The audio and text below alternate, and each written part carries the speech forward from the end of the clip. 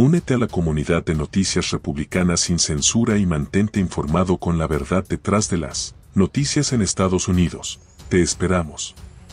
Bienvenidos a las noticias de hoy en YouTube. Los republicanos han señalado la salida del Partido Demócrata de Carolina del Norte como un presagio de lo que podría suceder en las elecciones presidenciales de 2024. La representante estatal Tresha Cotham ha anunciado su cambio de afiliación política de demócrata a republicana, otorgando así una gran mayoría en ambas cámaras legislativas estatales al Partido Republicano. Según Kasem, su decisión se debe a la frustración que siente con el estado actual del Partido Demócrata. Afirmó que los legisladores demócratas se han vuelto cada vez más estrechos de miras, a pesar de que se pintan a sí mismos como inclusivos. La salida de Kasem ha sorprendido a varios legisladores, ya que la exdemócrata ha servido en el partido durante más de una década. Este cambio político ha generado un gran impacto en la esfera política del país. Los republicanos han aprovechado la oportunidad para señalar que esto es una muestra de que muchos estadounidenses están desilusionados con el Partido Demócrata y que podríamos ver un cambio de poder en las próximas elecciones presidenciales.